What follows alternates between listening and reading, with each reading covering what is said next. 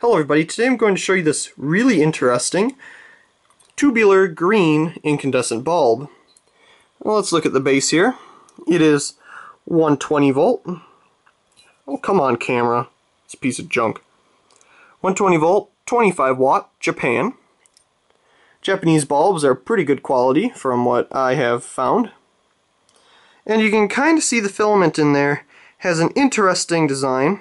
See how it kind of shifts it down that way and then it pushes it up that way when it goes up. It's a lot more interesting than how they make them now. And it's also interesting that it's green.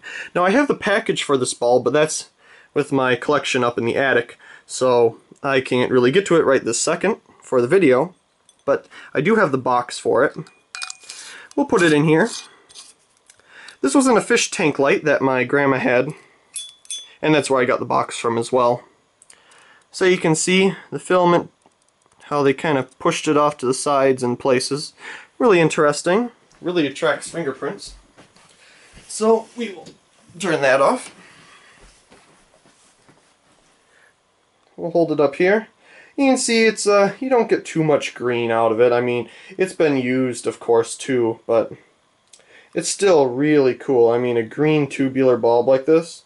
And you can see in the camera off up up here the filament structure. I don't know why this camera does that. It's probably because there's a, a piece of glass in front of the lens or whatever, so it just bounces around in there. But um, there you go. I hope you enjoyed this video of my, I think it's 25 watt, can't even remember anymore, incandescent tubular green bulb. Also, please comment, rate, subscribe, and thank you very much for watching.